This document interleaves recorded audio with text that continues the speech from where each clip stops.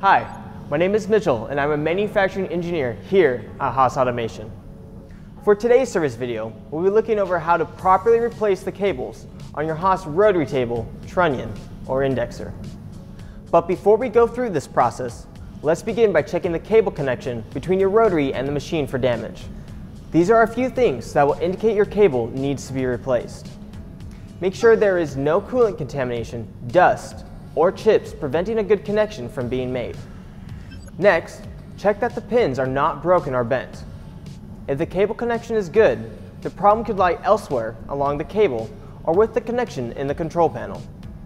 For help troubleshooting these issues, find the Rotary Troubleshooting Guide online at haascnc.com/service or talk to a Haas service representative. Once you have determined that your rotary cable needs to be replaced, we can now go over how to complete this process on your rotary table, trunnion, or indexer. Note that there are several different types of cables used on these units, but for the purpose of this video, I will only be demonstrating one of them. First, make sure to disconnect the unit's power cables and airline and remove the unit from the machine. Next, locate the junction box, also called the J-box, on the enclosure. If the J-box is attached directly to the cover plate, unscrew the bolts on the cover plate and carefully remove it from the rest of the enclosure assembly, making sure not to pull on or damage any of the wires. If the J-box is attached to the enclosure, locate the cover plate adjacent to the J-box, unscrew the bolts, and carefully remove it. Next, locate the J-box wires inside the enclosure remove and set aside any cable wraps, and disconnect the cable connectors. This may take some finagling, so be patient and ensure that the cables are properly disconnected and none of the enclosure wiring gets damaged.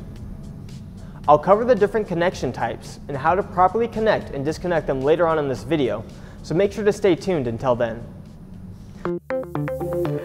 So now that we've got our cables disconnected, if you happen to be working in a dirty environment, Consider covering the enclosure connectors with painter's tape to prevent any dirt, coolant, or chips from getting in while swapping out cables. At this point, unscrew the bolts on the J-box if you have not already, and remove the J-box with the damaged cables. Remove the J-box gasket and make sure to clean off any residue that may be left over before proceeding. Next, align the new J-box gasket using the four holes and attach it to either the cover plate or enclosure depending on the location of the J-box. Route the cables through the opening, but do not fasten down the new J-box. Using one of the cable wraps you saved, wrap the J-box cables together approximately 2 inches from the J-box. Attach the cables together, ensuring that they are properly connected and routed within the enclosure. Avoid pinching or kinking the cables and airlines when routing them within the enclosure.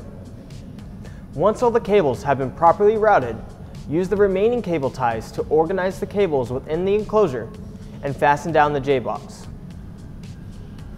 Next, remove the enclosure gasket and clean the surface of any excess residue.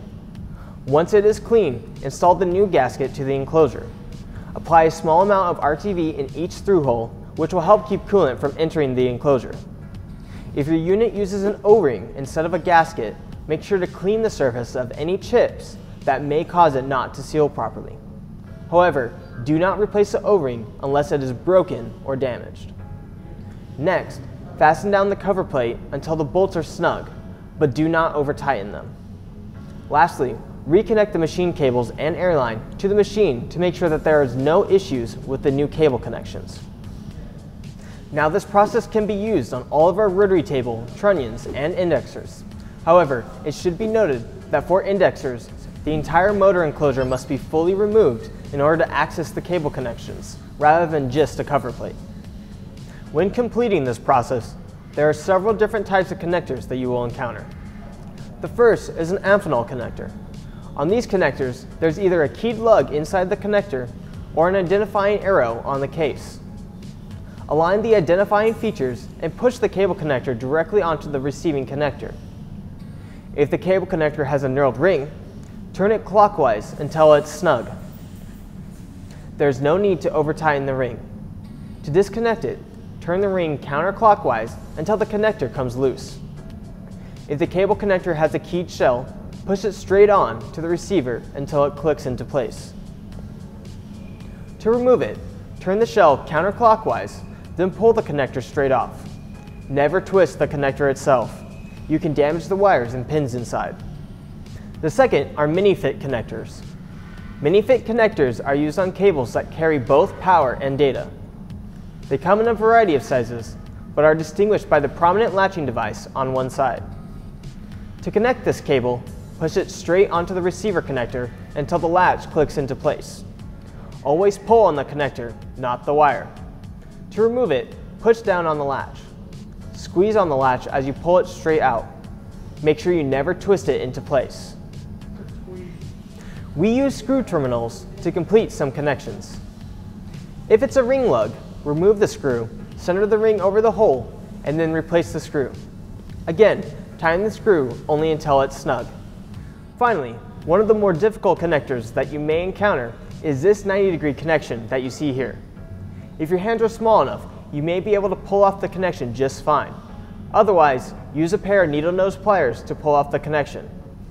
Make sure to only hold on to the outer covering of the connector, as it is easy to accidentally pull out the wire if you are not careful. For more information on your Haas rotary or any other Haas service related information, visit haascnc.com/service. Thanks for watching.